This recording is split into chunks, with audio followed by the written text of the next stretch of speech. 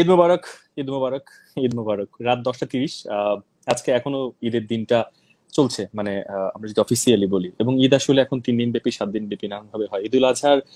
ঈদুল ফিতরের মতোই এবার ঈদুল আজহাটাও আমাদের খুব ভিন্নভাবে গেছে। আমরা যেভাবে সবসময় ঈদের মতন বড় উৎসব পালন করি, সেভাবে হয়তো পালন করতে পারছি না। অনেকেই তাদের স্বজনদের কাছে পৌঁছতে পারেননি, অনেকে আবার গিয়েছেন। তারপরও ঈদ, ঈদই, কোনো হতাশার কথা বলতে চাই না, কোনো আসলে কষ্ট দুঃখের কথা বলতে চাই না, সবসময় আমরা আনন্দের কথা বলতে চাই, কারণ এটা জীবন। আনন্দ নিয়ে অনেকখানি সময় কাটাতে চাই আপনাদের সাথে, যারা এই মুহূর্তে radio Dhoni ninety one point two F M শুনছেন এবং ফেসবুক পেজ থেকে দেখছেন, তাদের সবাইকে স্বাগত জানাই, আমি ইভান সাইড ঈদ নিশ্চয়ই ভালো কাটছে, আহ, ঈদের যে আনন্দ আয়োজন রেডিও ধ্বনির ninety one point two F M এ, তারা যারা এর মধ্যে আমাদের পেজে দেখেছেন পোস্ট কিংবা নানানভাবে জানেন, তারা সবাই জানেন যে আজ থেকে শুরু হলো, বিশেষ করে এই রাত দশটা তিরিশ মিনিট থেকে তিন দিন ব্যাপী আমরা একটি বিশেষ আয়োজন রেখেছি আপনাদের সাথে। এবং আজকের যে ঈদের রাত, এই ঈদের রাতে আনন্দের মাত্রা আসলে আমাদের জন্য এই মুহূর্তে অনেক বেশি। সেটার কারণ, ব্যক্তিগতভাবে আমারও আনন্দের মাত্রা বেশি। সেটার সবচেয়ে বড় কারণ হচ্ছে এমন একজন মানুষ, এই মুহূর্তে আমার অতিথি।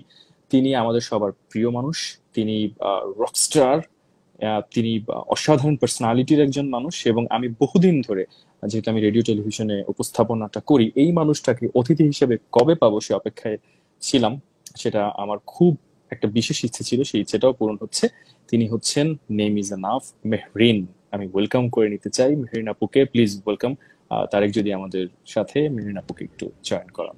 Evan thank you so very much এত সুন্দর একটা ইন্ট্রোডাকশন দেবার জন্য। You are most welcome Eid Mubarak. So much. Eid Mubarak.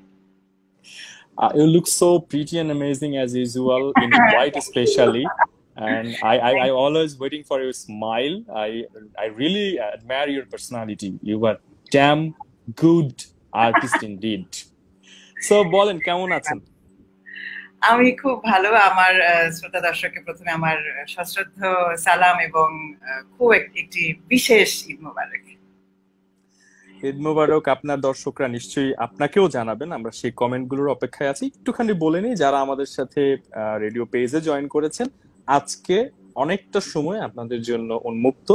মেহরিনাপুকে যার যা জানতে চাওয়া আছে, যার যা বলার আছে, মন খুলে বলতে পারেন, লিখতে পারেন, আমরা এই যে আড্ডা দিব, কথা বলব, তার মাঝখান থেকে আমরা সেই প্রশ্নগুলো তার প্রতি রাখব। এবং আপনাদেরকে চাইব যে আপনারা যদি আমাদের সাথে থাকেন, একটু লাইভটা শেয়ার করে দেন বা একটু বিভিন্ন জায়গায় শেয়ার বলি বা আমরা লাইক বলি, সেগুলো করে দিলে আমরা আসলে বেশি মানুষ। আজকে এমন একজন মেহরিনকে জানবার চেষ্টা করব। আমি আপুকে নিয়ে যখন দেখছিলাম, একটু যখন ওয়েব ওয়েব কেন্দ্রিক রিসার্চ বলেন বা ঘাটাঘাটি বলেন করছিলাম, সেখান থেকে মাথায় রেখেছি আজকে এক নতুন ভাবে মেহরিনকে উপস্থাপন করতে চাই। যদি আপু হেল্প করে। তা আপু, শুরুতে শুরুতে যেটা জানতে চাই, আজকে দিনটা তো পার হয়ে গেল, এখন রাত। কেমন কাটলো ঈদুল আজহা? ঈদ উল আজহা তো আসলে ঈদ একটু সবারই একই রকম কাটছে পুরা দেশবাসীর এবং পৃথিবীবাসীর। তো যেরকম প্রতিদিন কাটে আজকের দিনটা তো ঈদ এবং কি বলব যে আমার জন্য একটু বিশেষ রকম আসলে আজকে কি বলব? আসলে সকাল থেকে রুটিনটাই শুনতে চাই সকাল থেকে রুটিনটা শুনতে চাই। আমি কিন্তু ঈদ উদযাপন শুরু করেছি দুদিন আগে মানে আমি আমি ইমপ্রুভ ডায়েট যেটা ঈদের বৈশিষ্ট্য এবং আমার বিশেষ প্রিয় সেটি সরি এক্সট্রিমলি আমি দুদিন আগে আমরা মানে আমি বেশ পোলাও টোলাও করে খাওয়া শুরু করেছি দুদিন আগে আমরা বাসায়। তো আজকে এই তো ভালো আলহামদুলিল্লাহ। আসলে একটি আচ্ছা। দিন পাওয়াই কিন্তু এখন অনেক বড় এবং সবার সাথে সুন্দর করে কাটানো আজকে লুডোর ম্যাচে আমি জিতেছি খুব ভালোভাবে সবার গুটি যখন একদম চারটা চারটা করে ঘরে তখন আমি জিতে গেছি। তো বিগ সেলিব্রেশন এই তো। আচ্ছা এই প্রসঙ্গে খুব, খুবই পরিচিত কিছু প্রশ্ন, কিন্তু এই প্রশ্নগুলো মানুষ না বারবার জানতে চায়। কারণ নতুন নতুন দর্শক জন্ম নেয়, নতুন নতুন জানবার একটা শ্রেণি তৈরি হয়। যে কথাটা খুবই ফেস করেছেন, সেই কথাটা আরেকবার জানতে চাই। ছোটবেলার ঈদ, একটু ছোটবেলার ঈদের কোন একটা স্বর্ণ ঈদের ঘটনা আছে? ছোটবেলায় মেহরিন কীভাবে বিশেষ করে কোরবানির ঈদে গরু কেনা সেটা অনেক সময় হাটে যাওয়া সেটা দেখা গরুকে বা গরু ছাগল যে যেটাই কিনুক সেটাকে একটু ঘাস খাওয়ানো সেটা নিয়ে একটা এক্সাইটমেন্ট আমি জানি না একজন মেহরিনীর ছোটবেলায় সেই ব্যাপারগুলো ছিল কিনা। একটু আমার দর্শকদের জন্য জানতে চাই। আমার একদম ছোটবেলার বাসাটা ছিল পরিবাগে এবং এটি একটি দোতলা বাসা ছিল। আর আমরা একতলায় থাকতাম এবং আমাদের সামনে একটা বড় মাঠের মধ্যে বড় বলতে একটু মানে উঠোন যাকে বলে ওরকম ছিল। আর ঘাস ঘাস উঠোন এবং এক ধার আম গাছ পেয়ারা গাছ লাইন ধরে। এবং এক জায়গায় একটা গরু দাঁড়ানো থাকতো। সেই গরুর মানে সে বেশি দিন আমি আমি আমার খুব বেশি পর্যন্ত তাকে পাইনি। কিন্তু আমার মনে আছে যে সেই গরুর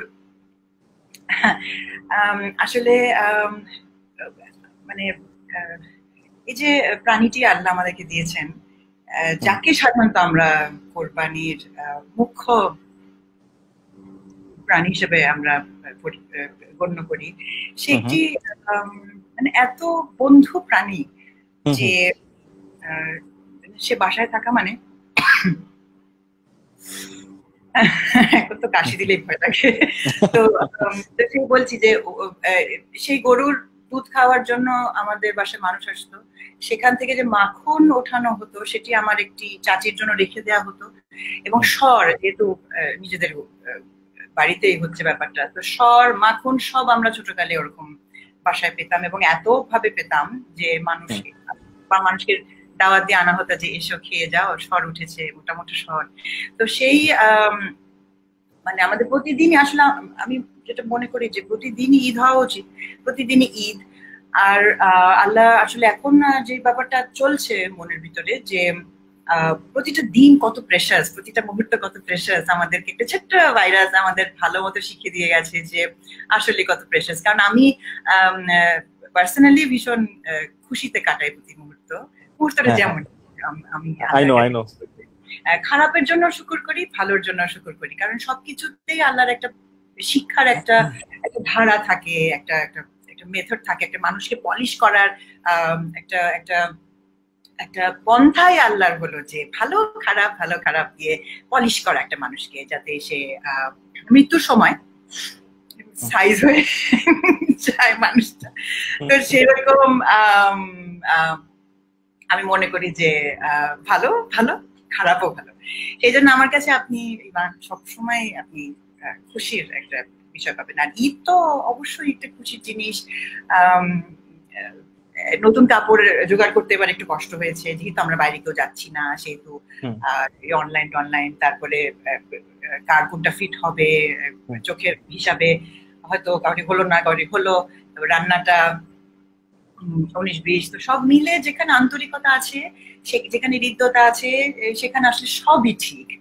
সেই জন্য আমি মনে করি যে হ্যাঁ ইট ওয়াজ ওয়ান্ডারফুল মা আছে না আসলে মানে এই এই কথাগুলো না আমরা কিন্তু হয়তো রিয়েলাইজ করি কিংবা বলতে চাই। কিন্তু কেউ যদি এরকম বলে দেয়, বিশেষ করে যারা মানুষের কাছে প্রিয় মুখ। তাদের মুখ থেকে শুনলে তখন কিন্তু মানুষ ওটাকে খুব রিলেট করতে পারে। আরে, আমি তো এটা ভাবছিলাম বা এটাই বলতে চেয়েছিলাম। দ্যাট ইজ ভেরি ইম্পর্টেন্ট আমরা চাইলে আমাদের ইচ্ছের উপর ডিপেন্ড করে আমরা প্রত্যেকটা টাইম কীভাবে হ্যাপিনেস এর মধ্যে কাটাতে পারি। আর আমরা ঈদের কথা বলি, উৎসবের কথা বলি, প্রত্যেকটা জায়গায় একটা শিক্ষার কথা থাকে, কোরবানিতে যেমন ত্যাগের ব্যাপার থাকে। তা আমিও আসলে মেহরিনাপু রিয়েলাইজ করছিলাম যে, আহ চারপাশে সব অনেক কিছু দেখে মাঝে মাঝে মনে হয়, মাংস খাওয়া বা গরু কোরবানি দেয়া, এটাই কি সব? ত্যাগের যে ব্যাপারটা, কতটুকু ত্যাগ নিজের জায়গা থেকে করলাম, এটা মাঝে মাঝে খুব ভাবি। আমি একটু মেরিনপা আপনার কাছে জানতে চাই যে এই সময়ে এসে আমাদের যে সারাউন্ডিংস আমাদের এখন যে কন্টেম্পোরারি টাইম যদি বলি যে কোন বিষয়গুলো আমাদের ত্যাগ করা উচিত কিংবা ত্যাগ করলে ভালো হয়, আমরা আরও ভালো থাকতে পারি, কি বলবেন? আমি বিশ্বাসের জায়গাটাতে তো আমি কিছু বলব না অবশ্যই। আর এখন হৃদয়ঙ্গম করার একটা বিষয় আছে সামাজিক কিছু ক্ষেত্র এবং বিশ্বাসের কিছু ক্ষেত্র যেখানে যেখানে আপনি কীভাবে আপনার আপনার বিশ্বাসটা আপনার জীবনে প্রতিফলন ঘটাচ্ছেন। এবং আপনি যখন বড় তখন কীভাবে আপনি আপনার সন্তান বা আপনার উত্তরসূরির জন্য আপনার বিশ্বাসটাকে নিদর্শন হিসেবে রেখে যাচ্ছেন? তো সেই বিষয়গুলো আসলে একান্তই একান্তই নিজস্ব একান্তই পার্সোনাল যাকে বলা হয় সেখানে যদি আমি তার তার উপর একটি আরেকটি নিয়ম নীতি চালিয়ে দেই এটি ঠিক হবে না। ওই জন্য আমি আসলে আমার ব্যক্তিগত বিষয়টা যখন ছিল ছোটকালে আমারও যখন মেয়ে ছোট তখন আমার বাবাকে দেখতাম যে একটা একটা মানে কোরবানি বাবা দিতে দিতেনি কারণ তার নাতনি খুশি হবে। খুশি হবে এরকম একটা বিষয় ছিল। তো সেই নাতনি যখন বড় হয়ে গেল তখন সে নিজে থেকেই নানাকে বলা শুরু করল যে তার ভিউজ তার ভ্যালিউজ এবং এখন আমি যখন আমার বাবার ভ্যালিউজটা ইয়ে করি রিক্যাপ করি। আমি দেখি যে বাবা কত আনন্দ পেত তার হ্যাঁ। এই কোরবানির দিনটাতে এবং মা কি আনন্দ পেত। তো এইটা যদি আমরা এখন এই আনন্দটা বয়ে মনে করছি বসে বসে যে আহা আম্মারা আমরা ছোট থাকতে বা এই তো ধরুন বছর কয়েক আগে কি আনন্দ করে হ্যাঁ। জি জি কোরবানির ঈদি ধরেন। তারপরে মানে বর্জ্য নিষ্কাশন তারপরে যে আরও বিষয় আছে সেগুলো নিয়ম নীতির মধ্যে অবশ্যই বাধা হয়ে ভালো হয়েছে অবশ্যই। আমাদের তো অবশ্যই এখন ক্লিনলিনেস এর ব্যাপারটা তো আমরা বুঝতেই পারছি যে কতটা জরুরি। সেগুলো তো আছেই। তো আনন্দ আসলে থাকুক যার যার কাছে। আনন্দ জায়গাটা বিশ্বাসের জায়গাটা যার যার কাছে থাকুক। যেমন আপনি সূর্য সকালে উঠবে এবং আপনিও তার সাথে সাথে উঠবেন তার আগে দিয়ে আপনি সূর্যের আগে আপনি উঠবেন। আপনি আপনি সৃষ্টিকর্তাকে খুশি করবেন সূর্যের আগে উঠে। এবং এই যে বিশ্বাসগুলো এই যে এই যে খুশি এই যে আপনি তারপর একটু ঘাসের উপর হাঁটবেন সূর্য উঠে গেলে পরে আপনি হয়তো একটু গান শুনবেন হয়তো নিজে একটু গান করবেন। এই যে আনন্দগুলো এগুলি না যার যার যার যেভাবে যেভাবে যেভাবে থাকে থাকুক। থাকতে মানুষ যে হয়তো সে একটু ঘুমালো বারোটা পর্যন্ত হয়তো সে ঈদের কি জানলোই না তাকেও আনন্দে থাকতে দিন।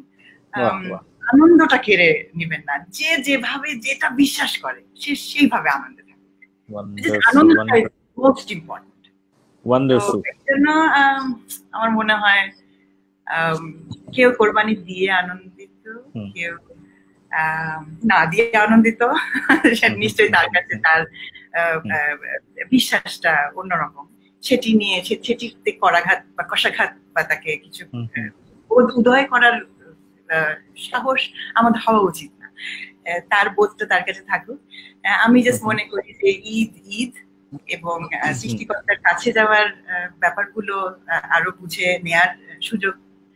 তো it's all very good it's the best thing that we could have আচ্ছা যারা শুনছেন মেহরিনাপুর কথাগুলো যারা শুনছেন বা এই লাইভটা তো থেকে যাবে নিশ্চয়ই মনে হয় যে সবসময় আমরা জানতে চাই আমাদের প্রিয় তারকাদের কাছ থেকে অনেক কিছু। এবং কিছু কিছু মানুষ আছেন যারা আসলে যখন কথাগুলো বলেন, সেই কথাগুলোর মধ্যে এক ধরনের দিক নির্দেশনা থাকে। এই কথাগুলোর মাঝখান থেকে আপনি যদি খুঁজে নিতে চান, আপনার ইচ্ছে করে আপনি সেরকম অনেক কিছু পাবেন। মেয়েরাপুর আমরা ঈদ নিয়ে অনেক কথা বলে ফেলেছি। আমরা এবার একটু আপনার আপনার একজন মেহরিন হয়ে ওঠা বা সেই জার্নি, সেখানে পরতে পরতে কিছু গল্প একটু কেজুয়ালি শুনব। তবে তার আগে একটা গান শুনতে চাই। আমরা সেই গল্পে যাওয়ার আগে আপনার গান। আমার সাথে যেহেতু রেডিও ধ্বনি অফিস থেকে তারেক জয়েন করে আছে তারেকে বলব যে আমরা মেহরিনের একটা গান আমাদের এই মুহূর্তের দর্শক এবং শ্রোতা যারা আছেন তাদের জন্য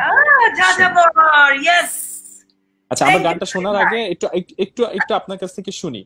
তারেক একটু পরে শুনছি আমরা একটু শুনি এই গানটা তৈরি করা বা গানটার পেছনে কারা কাজ করেছেন। একটু মেনে নেব আপনার কাছ থেকে শুনি। তারপর আমরা গানটা শুনি আমি তো আসলে ইভান তোমার এক মার্কের উত্তর দিতেই পারছি না আমার সব দশ মার্কের উত্তর হয়ে যাচ্ছে। লম্বা উত্তর হয়ে যাচ্ছে। না আজকে আমরা আড্ডা দিব তাপু অসুবিধা নেই। আচ্ছা। ইনশাআল্লাহ। যাযাবর আমার একদম নতুন গান এবং যাযাবর আমার প্রিয়তম গান আমি ভাবো আগে কিছু করিই নি এত বছর। যাযাবর আমার প্রথম গান।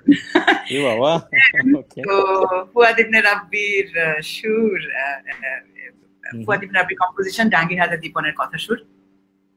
আমার গাওয়া মেহরিন আমার নাম। আর এই তো ভিডিওটা করা হলো শুভ্র এসারিফ খানের। আর তারপরে এডিট গ্রাফিক্স করা আমাদের আশরাফুল ভাইয়ের গ্র্যাভিটি স্টুডিওস তো আর কি চাও শুনতে? যে এই গানটা আসলে খুব ফাস্ট করা। আমরা অনেকদিন পরে আমরা তিনজন আচ্ছা। গান বাঁধবো। তো ঠিক আছে আমরা আমরা গানটা হ্যাঁ আমরা গানটা শুনে আসি তারপর হচ্ছে গানটা কেন এত প্রিয়? এই প্রশ্নটা থাকবে তখন শুনব। চলুন আমরা সবাইকে নিয়ে একটু গানটা শুনি এবং দেখি।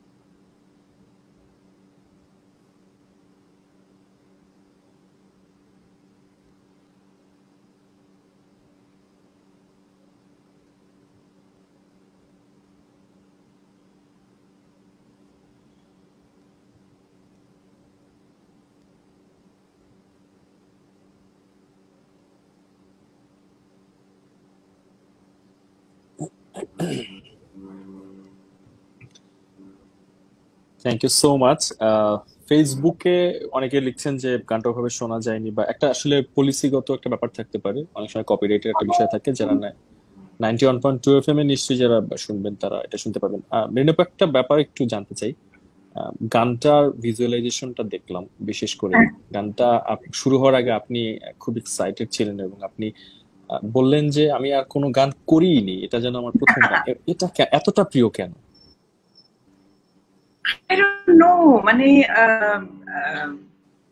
আমি জানি না আসলে কেন, কারণ ইট মানে আমার রাজকুমারও আমি যখন টিপন ভাইরা আমাকে গানটা দিয়েছিল, আমি জাস্ট দৌড়ে গিয়ে গানটা গেয়ে ফেলেছি। আনারিও তাই যা যা বড় অ্যাকচুয়ালি তাই।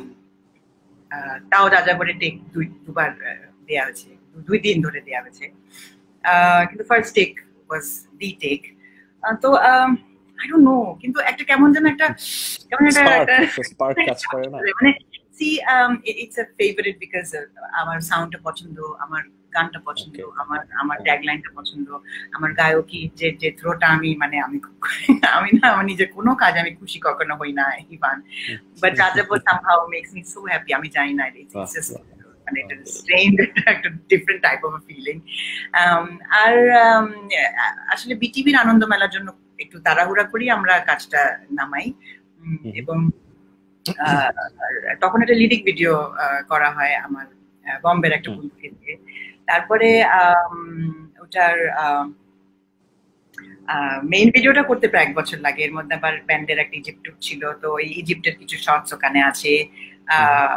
এবং সব পুরো সব ব্যান্ড মেম্বারদেরই একটা ওখানে ইনপুট আছে। মানে যে একটা আসনে আমাকে বসতে ওখানে দেখা যায় ওটা খুব একটা। মানে সাধারণ মানে মনে হয় যেটা সেট আর কি কিন্তু অ্যাকচুয়ালি ওটা ইজিপ্টে করা ইজিপ্টে হঠাৎ করে পেয়ে যাওয়া একটা সেটের সেটের সাজানো একটা আচ্ছা। যেটা আমরা শো এর পরে আহ, মানে প্রায় রাত দুটোর সময় আমাদের ওখানে গিয়ে আমরা কাজটা করি। এবং খুব দ্রুত আমাদেরকে করতে হয় কাজটা। দিস আর নাইস কি বলে মেমোরিজ অফ দিস সং আর um, ইজিপ্টেরও কিছু কিছু জায়গায় আমাদের খুব ছোট করে শর্টস নেওয়া আছে। এই তো তারপর আম, মানে ভিডিওগ্রাফির যে বিষয়টা আসলে আমি বলতে পারো যে অনেকদিন পর মডার্ন কাজ করলাম। মানে আমার আহ, অনেকদিন পরে আমি একটা এরকম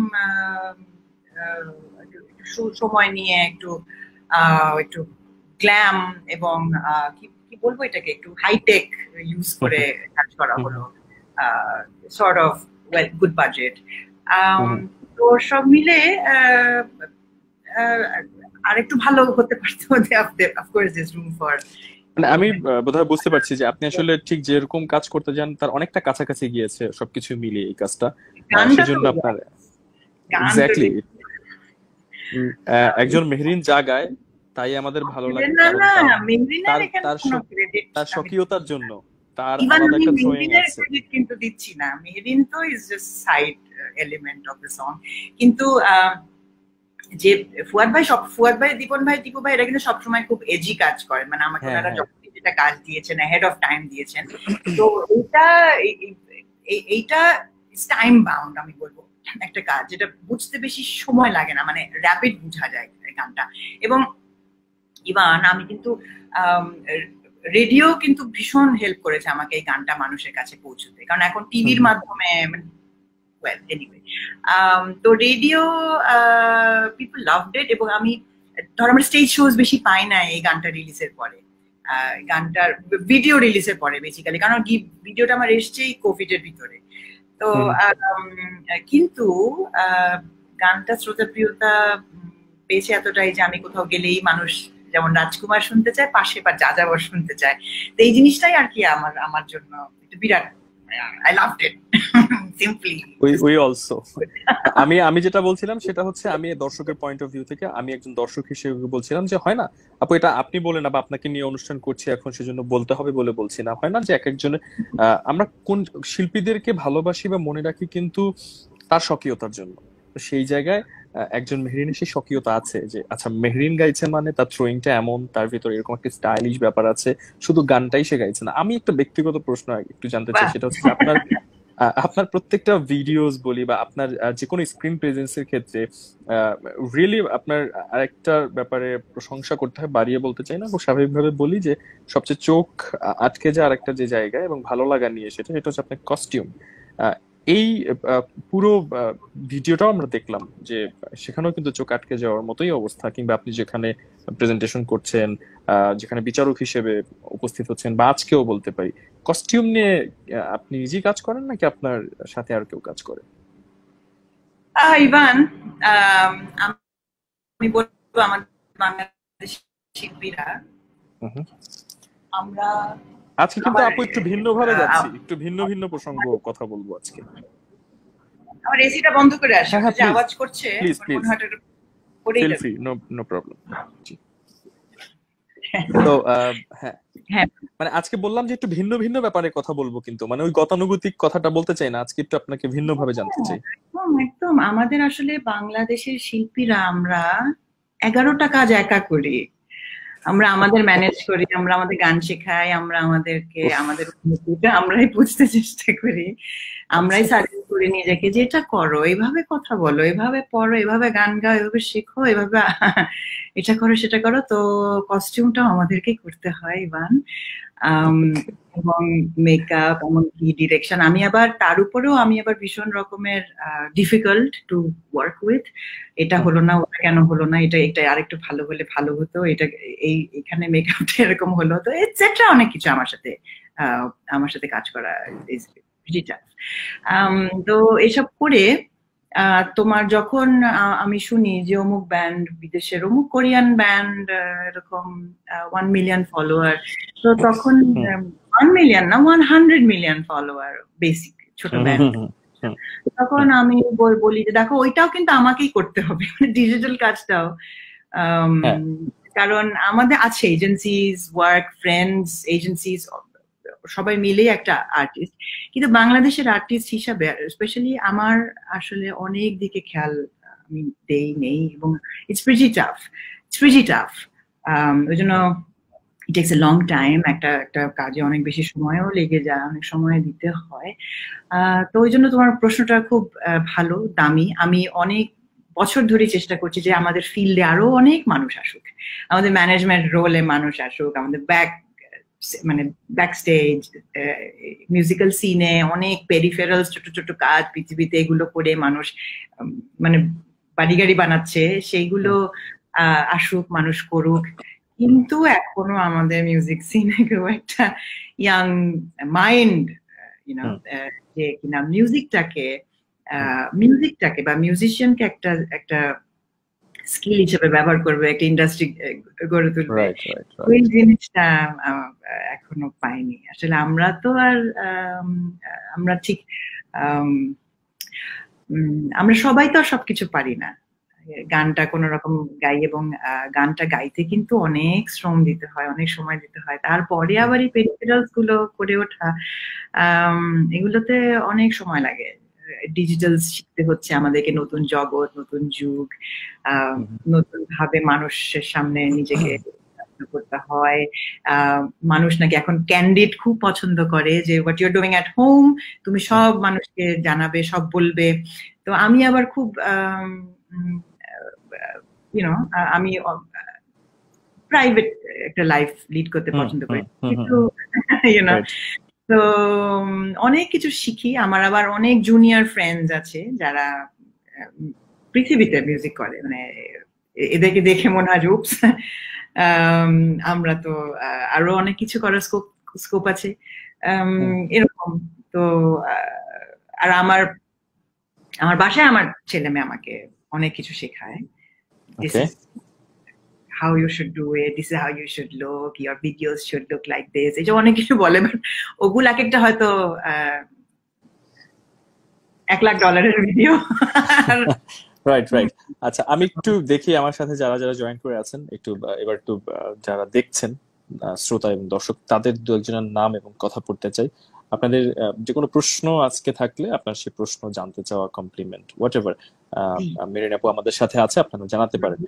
আমাদের সাথে শাইক আনিস জয়েন করেছেন। তিনি বলছেন যে, আপুকে কিউট লাগছে। এটা সব সময় লাগে মোহাম্মদ জুয়েল আছেন। সাথে আছি দশ মাইল পঞ্চগড় থেকে মোবারক ভাই।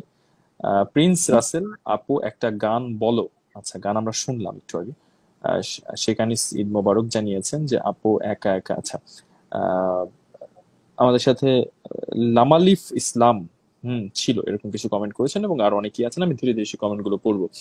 একটা ব্যাপার, এবার একটু আপু গল্পে যাব, যে আপনার গান শেখা কিংবা সংগীত শিল্পী হয়ে ওঠা সেই গল্পটা শুনেছি আমরা বিভিন্নভাবে, কিন্তু আজকে একটু আপনার মুখ থেকে শুনতে চাই যে সংগীত শিল্পী হতেই চেয়েছিলেন কিনা, বা প্রথম গান শিখতে যাওয়া কোন জায়গাটাতে, এবং আপনি যে জনরার গানটা করলেন, সেক্ষেত্রে এই জনরাতে এসে মানে এই জনরাতে কীভাবে ইন্সপায়ার হলেন? আপনার ইন্সপায়ারেশন কারা? একটু শুনতে চাই। আমি প্রথমে বলব সংগীত শিল্পী হয়ে ওঠা আসলে অনেকে আমার সাথে শ্রোতারা একমত হবেন যে শিল্পী হয়ে ওঠা অনেক কঠিন কাজ। অনেক বছর ধরে একটা শিল্পী শব্দটা আমি উচ্চ রেখে কথা বলি। আমি সাধারণ মানুষ আমি সংগীত কর্মী আমি শিক্ষার্থী এবং আমি এন্টারটেইনার বলি নিজেকে। তো আমি এটাই পছন্দ করি যে আমি যতটুকু পারি তার মাধ্যমে আমি কত মানুষ বন্ধু বানিয়েছি, কত কত ভালোবাসার সান্নিধ্যে এসেছি। এই জিনিসটা আসলে আমার প্রাপ্যর থেকে অনেক অনেক বেশি এবং আমি মনে করি যে, আমি যদি আরও ভালো পারতাম তাহলে কি আমি আরও ভালোবাসা পেতাম, আরও স্নেহ পেতাম? এটা আমার কাছে ভীষণ লোভ। আমার ফ্যানরা জানে যে আমি আমি ভীষণ লোভ আমার তাদের ভালোবাসার জন্য।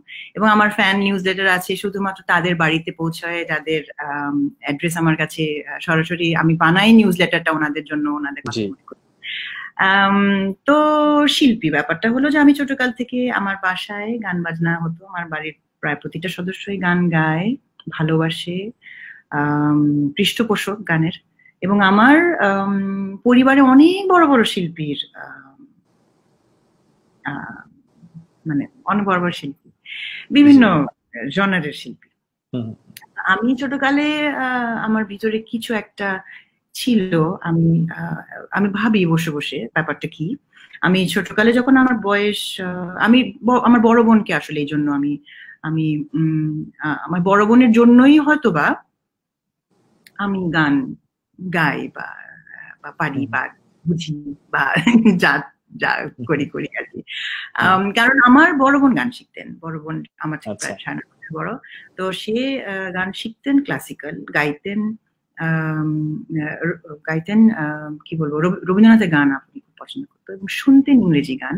তারপরে আমার বাচ্চারাই আব্বা আবার শুনতো বাংলা আধুনিক। আচ্ছা।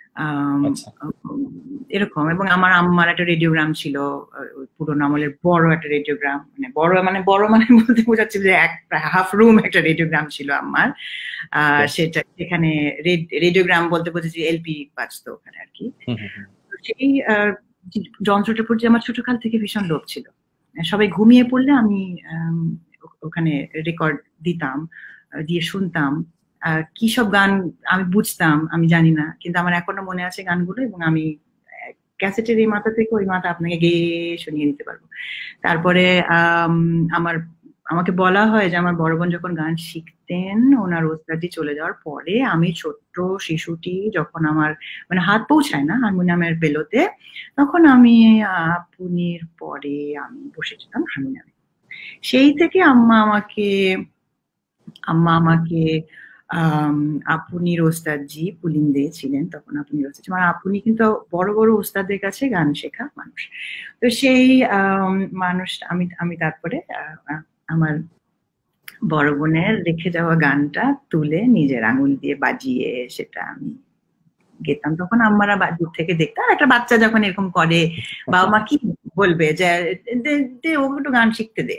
এরকম। তো আমাকেও তখন পুলিন্দ ওস্তাদি ছড়া গান শিখে শুরু সারেগামা দিয়ে শুরু করে এইভাবে চলতে থাকল চলতে থাকল। তারপরে আমার বড় বোন গান প্র্যাকটিস করতো না কিন্তু আমার গান প্র্যাকটিস করার ব্যাপারে আমার বড় বোন ভীষণ অগ্রণী ভূমিকা পালন করতো।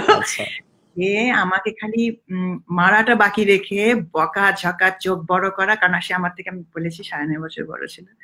তো আমাকে সে ভীষণ শাসন করে গান সাজাতো।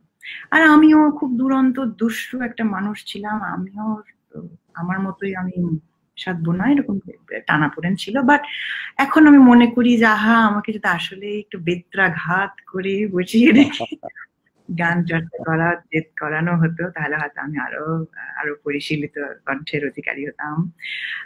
তারপরে আমরা যখন মানে চড়াই উতরাই মানুষের জীবনে যায় যাই থাকে, আমি ও লেখাপড়া টড়া হ্যান ত্যান করতে গিয়ে গান বাজনা থেমেছে, আবার ধরেছি। থেমেছে, আবার ধরেছে। মানে থেমেছে মানে বেশ বছর মতো গড়িয়ে আমি গান গাইছি এরকম হয়েছে। তারপর ধরেছি, তারপরে আসলে প্রধান ধরাটা আমার হয় যখন আমি যখন আমি ইউনিভার্সিটিতে ঢুকি। এবং তখন ফেরদৌসি খালা আব্বাসুদ্দিন সংগীত একাডেমিও শুরু করে। তখন ফেরদৌসি খালা আম্মাকে ফোন করে বলল, বুবু, তোমার মেয়েকে পাঠিয়ে দাও। আমার প্রথম ব্যাচে ক্লাস দিন শুরু এবং আমার শুরুটা ফেরদৌসি খালার হারমোনিয়াম দিয়েই। আমার প্রথম যে নামি হারমোনিয়ামটা ওটা খালারই ছিল।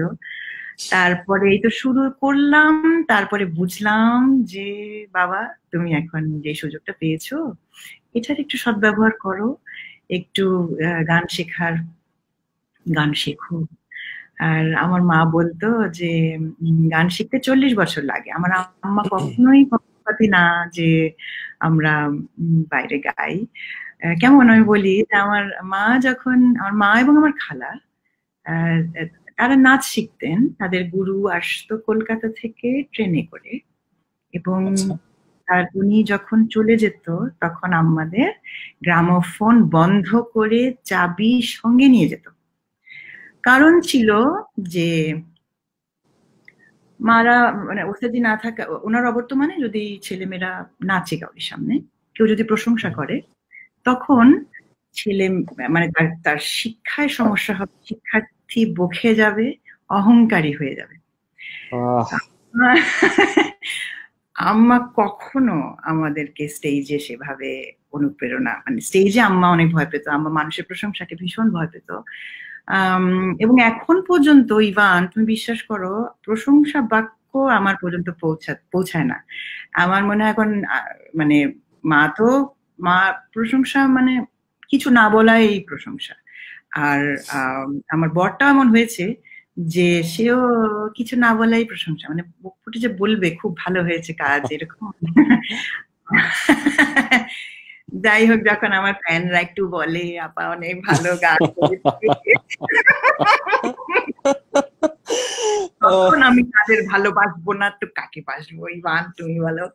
তো এখন কথাটা হলো এরকম যে আমি বিশ্বাস আমার ফেসবুকের ফ্যানরা বিশ্বাস করেন না করেন আমি কিন্তু ওনাদের প্রতিটা কমেন্ট পড়ি। প্রতিটা কমেন্টে আমি রিপ্লাই দেই আমি ভীষণ আনন্দ পাই যে কেউ প্রশংসা করলে। আবার যখন কেউ প্রশংসা না করে একটু নিন্দাও জানায় তাদের তখন আমি মনে করি যে আসলেই তো হতে পারে ব্যাপারটা এরকম এবং আমি তাকেও সাধুবাদ জানাই যে ভাই আমি নিশ্চয়ই সামনের দিনে খেয়াল রাখব যাতে আমি ভুল না করি আর ভুলি আর কি এরকম রাগ হয় তারপরে আবার নিজেকে সামলাই। কারণ সবার দৃষ্টিভঙ্গি একরকম না। হয়তো আমার দৃষ্টিভঙ্গি তো ভুল থাকতে পারে ওনাকে বুঝতে ভুল থাকতে পারে। আর এস এম এমন একটা জিনিস টেক্স এমন একটা জিনিস তুমি ভুল ভাববে একরকম তোমার লেখা কিন্তু আরেক রকম হয়। বানান ভুল হতে পারে বলার কায়দা ভুল হতে পারে কিন্তু আমি ওইখান থেকেও আমি আমি আমি বের করে নেই যে উনি অনেক সময় দিয়ে উনি অনেক শ্রদ্ধা ভরে আমাকে লিখেছেন এবং এটা ভালোবাসা ছাড়া আর কিছুই না। তো আমি I love what I do even আমি যতটুকুই গান বাজনা করি I just thoroughly love it এবং যেসব গুণী মানুষের সান্নিধ্যে আমি এসছি ওনাদের সান্নিধ্যে যাওয়া এবং ওনাদের দুটো কথা শুনতে পারা ওনাদের দুটো কথাকে নিজের ব্যক্তি জীবনে কর্মজীবনে ব্যবহার করা আর বারবার বসে বসে মনে করা যে আহা আচ্ছা গুড তো এই জিনিসগুলো আমার আসলে অনেক বেশি পাওয়া Evan. Too good too good wonderful আপু ওয়ান্ডারফুল আর দুটো মানুষ আমি সবসময় ধন্যবাদ দিই আমার বাবা এবং আমার মা। এবং একটি মানুষকে আমি সবসময় আসলে তাকে কখনোই ধন্যবাদ দেওয়া হয় না আমার বড় বোন। আমার সে না থাকলে হয়তো আমার জীবনটাই এরকম হতো না। আমার এত সেফ একটা লাইফ হতো না। আমার বড় বোন যদি না থাকতো। সে বাবা মা তো আগলে রাখে কিন্তু সে এমন করে গোল বানিয়ে রাখে আমার জীবনটাকে এত কি বলব এটা আমার সৃষ্টিকর্তা দেখে নিয়ামত আর এই তো তোমরা যারা আমাকে আশকাটা দিয়ে মাথায় তুলে আমাকে দিস স্মাইল ইজ এনাফ আপনাকে ভালোবাসার জন্য আর আমি যেহেতু হ্যাঁ আপনি যেহেতু তাদের কথা বলছিলেন আমি আবার একটু পড়ি কারণ বেশ কিছু চমৎকার কমেন্ট আমার কাছে আছে। একটা কমেন্টের উত্তর একটু নিতে চাই। এটা, এই প্রশ্নটা আমারও ছিল, যেটা রিয়া আক্তার লিখেছেন যে, আপনি টুয়েলভ ইয়ার্স আগেও এমন দেখতে ছিলেন, এখনও সেম দেখতে। আপনার উনি এজের কথা বলছেন যে, এটা কি বাড়ে না? কীভাবে মেনটেন করেন?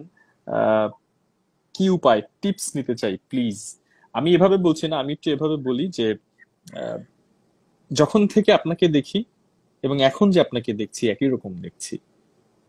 এটা হাউ ইট পসিবল রিয়া এবং ইভান তোমরা তোমরা বাড়িয়ে বলছো। আর বাড়িয়ে বলছি না বাড়িয়ে বলছি না। আপু বাড়িয়ে বলার আজকে আমার আর একদম ইচ্ছেই নেই। আমি একটু বাড়িয়ে বলব না। হ্যাঁ, কমিয়ে বলব। এখন যেটা হচ্ছে যে ফেসবুকের ক্যামেরা অতটা পাওয়ারফুল না যে যে আমার আমার সদ্য পক্ষ চুল, ধরা পড়বে তোমাদের চোখে? অথবা আর আর আর যার বলব না থাক।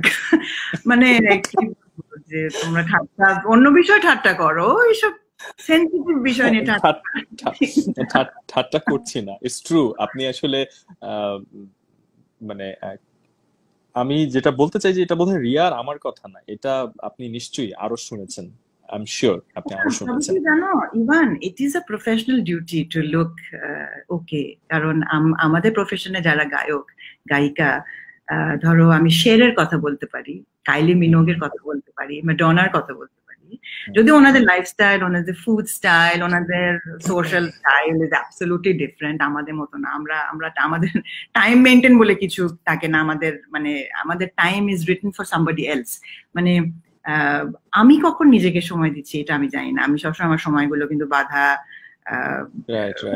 মানে অনেক কিছু আমাদের আমরা বাংলাদেশের মানুষ। অন্যান্য সব জিনিসের জন্য বাধা। হ্যাঁ, সবাই জানে আর কি our what our lifestyle is is not the same as the western world তো ওনাদেরকে দেখি যেটা যে প্রফেশন ইজ প্রফেশন এবং প্রফেশনালিজম ইজ প্রফেশনালিজম এটার সাথে আসলে ব্যক্তি বা ব্যক্তিকে মেলানো উচিত না। এবং শের উনি সিক্সটি ফাইভ বছর বয়সে উনি হয়তো আমি বয়সের মানটা আমি ভুল বলতে পারি কিন্তু উনি যখন এমটিভি অ্যাওয়ার্ডস এসে দাঁড়ালেন মানে সত্তর বছর হলো আমি আমি অবাক হব না। উনি ঠিক আমি যেরকম ওনাকে আমার ছোটকালে দেখেছি এক্স্যাক্টলি সেরকম ভাবে উনি মানুষের সামনে এসে দাঁড়ালেন। এবং ওনার দাঁড়ানোটাই ছিল ওনার দাঁড়ানোটাই ছিল মানুষের জন্য যথেষ্ট অবাক হওয়ার মতো যে তো আমরা আমরা কিন্তু অবাক শুধু যে আমাদের শিল্প কৃষ্টি বা কলা কৌশল দিয়ে করব তা না। আমরা আমাদের জীবনযাত্রা, আমাদের বিশ্বাস, আমাদের অ্যাপিয়ারেন্স দিয়েও আমাদের আসলে অবাক করার যাতে স্কোপ থাকে। এটাই আমাদের একটা পপ শিল্পীদের আমি বলতে চাচ্ছি যারা এই ঘরানার। আমার মনে হয় তাদের একটা প্রফেশনাল রাইট আপু আমরা আরও কথা বলব। আমি দু একটা কমেন্ট পড়ি এবং অনেকক্ষণ আমরা কথা বলেছি তারপর একটা গান একটু শুনব। আমাদের সাথে আচ্ছা একটু ফেসবুকের নাম তো ডিফারেন্ট ডিফারেন্ট নাম হয়। আচ্ছা, আমি কমেন্টটা পড়ি আপনার। মাঝি শিরোনামের গানটা শোনাতে অনুরোধ দুই লাইন হলেও। লিঙ্কন আহমেদ আছেন আমাদের চেষ্টা করছি। মাঝি আচ্ছা আমি শুনে নেব? অকুলে ভাই সাজাই জানি না আমি তোর মনটা কি কইরা পাই। যদি আমার দিত নদী কইরা কেউ মনে কি পড়ে না মাঝি? মনে কি পড়ে না? রকেট মন্ডল উৎপল দাস। অ্যালবামের নাম ডোন্ট ফরগেট মি এবং এটি কলকাতার একটি কাজ, তারা মিউজিকের আমার আমার দেশের বাইরে এটি একটি প্রধানতম কাজ, একটি অ্যালবাম দেশের বাইরে করা। তারা মিউজিকের পৃষ্ঠপোষকতায়। Thank you so much Lincoln ভাই জয়েন করেছেন। তিনি বলেছেন যে তিনি আপনার ভীষণ রকম বড় ভক্ত এবং আপনাকে প্রচণ্ড ভালো তিনি বাসেন। সুমন রেজা আছেন। তিনিও আপনার জন্য লর্ডস অফ লাভ আপনার জন্য পাঠিয়েছেন। সালেহা রহমান ঈদ মোবারক ঈদ মোবারক। তাজউদ্দিন আছেন যে ফিতা ক্যাসেট ক্যাসেটগুলির সময়টা ভালো ছিল। সিডি আসার পর কেমন যেন এলোমেলো হয়ে গিয়েছে এটা ওনার মূল্যায়ন শামীম হাওলাদার কি হলো? আচ্ছা গান অনেকেই আসলে গান শুনতে চাওয়ার একটা বড় ইচ্ছে আছে। আপু আমরা একটা গান একটু এখন শুননি। তারেক নিশ্চয় আছে আমাদের সাথে। আমরা আরেকটা গান এখন একটু শুনব তারপর আবার আমাদের গল্প হ্যাঁ। ফিরবো।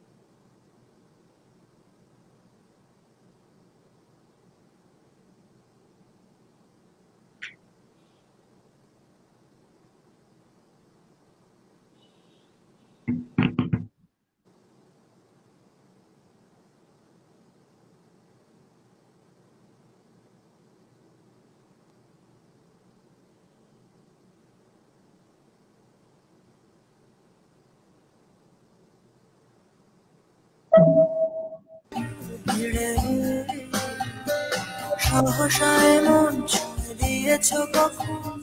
সবই যেন লাগে আজ স্বপ্নেরও মতন।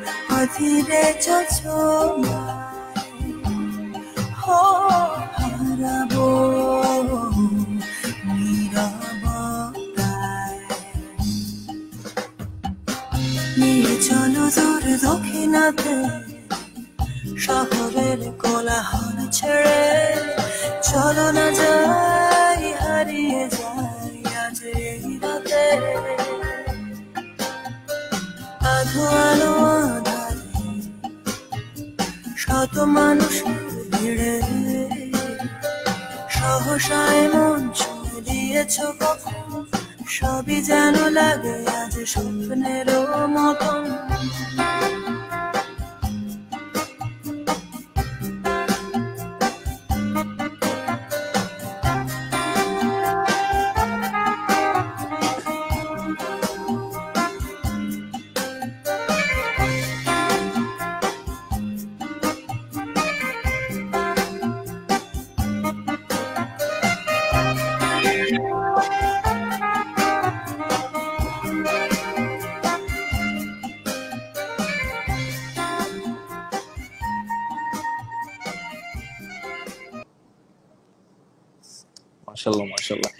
I I I feel like একটা লং ড্রাইভে পাশে কোনো প্রিয় একটা মানুষকে That নিয়ে was একটা the ফাঁকা idea, no, রাস্তায় no. Ivan, that was the idea. Habib um, চেয়েছিল আমার একটা গান uh, ওকে হোক যে উইল হ্যাভ দ্যাট ফিল আর শাকি আহমেদের lyric okay hmm okay hmm oh then I I got it sorry definitely এটা আমি এটা শুনতে শুনতে আমি এটা ফিল করছিলাম জাস্ট লাইক মাঝে হ্যাঁ। মাঝে যেটা হয় যে রাতে রাতে বিশেষ করে ঢাকায় ওইভাবে মাঝে মাঝে বের হই। ডেফিনেটলি একজন আপনার একজন ফ্যান হিসেবে এরপর থেকে আমার ড্রাইভের লিস্টে এটা সবচেয়ে মানে one of the favourite song হিসেবে থাকবে ডেফিনেটলি আর যে কথাটা বলছিলাম ওটা আসলে বারবার বললে কম বলা হবে। মেরিন আপু আপনার সবচেয়ে মানে আমি গান বুঝি না, ওটা নিয়ে বলার স্পর্ধাও আমার নাই, কিন্তু আমি একজন দর্শক হিসেবে বা এতদিন রেডিওতে কাজ করার জায়গা থেকে বলতে পারি যে একজন মেহরিন বোধ হয় ওই জায়গাটা তো সবচেয়ে বেশি সফল। কোনো কিছু না শুনে শুরু হওয়ার পর আপনার কণ্ঠ শোনার পরই বলে ফেলা যায় যে এটা মেহরিনের গান। সো আমাদেরকে এত এরকম ভাবে চমৎকার কিছু কাজ উপহার দেওয়ার জন্য আপনাকে ধন্যবাদ। আমি আরেকটা ব্যাপার একটু একটু জানতে চাই আপনার কাছে। একটু এই ব্যাপারটা একটু হয়তো সিরিয়াস আলোচনা হয়ে যাবে। সবাই এখন সিরিয়াস আলোচনা খুব পছন্দ করে না। সবাই খুব সহজ, সস্তা কথা শুনতে পছন্দ করে বা শহীদ হয় সেগুলো বললে। কিন্তু আমি একটু চাই। আমি সজ্ঞানে যখনই যেখানে অ্যাঙ্করিং বা যা কিছু করার সুযোগ পেয়েছি যে কথাগুলো থাকুক আমার কাছে কেন যেন মনে হয় দু চার পাঁচ বছর পর সময়টা আসলে ভালোর দিকেই আসবে তখন মানুষ এই কথাগুলো খুঁজবে।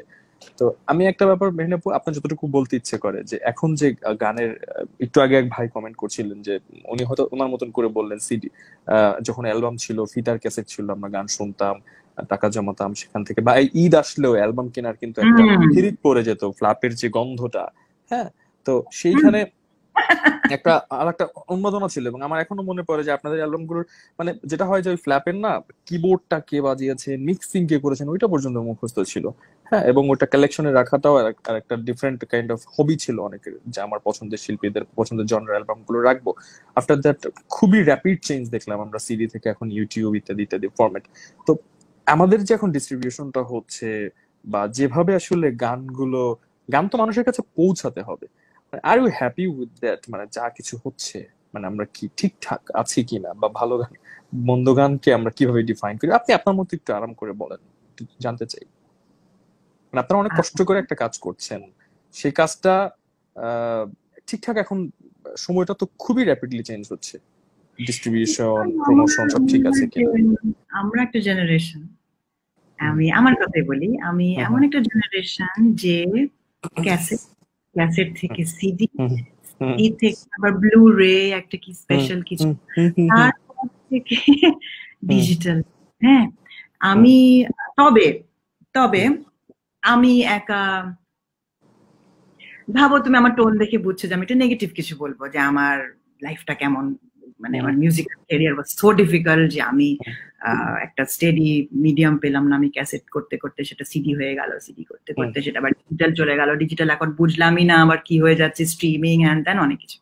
কিন্তু আমার আগে যদি তুমি ধরো হেমন্ত মুখোপাধ্যায়ের জীবনটা চিন্তা করো ওনারা আমি ঠিক না জেনে বল মানে অতটা আমি একটা জাস্ট এক্সাম্পল দেবো তুমি বুঝবে যে আমি কেন একটা এরার কথা বলছি। সেটা হলো ওনারাও কিন্তু কলের গান কলের গানের থেকে গ্রামোফোন গ্রামোফোন থেকে রেডিওগ্রাম রেডিওগ্রাম থেকে রেকর্ড এলপি তারপর সিঙ্গল মানে তারপর ওনাদের লাইফটা কীরকম হলো যখন ওনারা হঠাৎ ক্যাসেট শুনতে পেল এবং ওনাদের মানে ওনাদের লাইফে তো ক্যাসেট ওনারা শুনে গেছেন তাই না?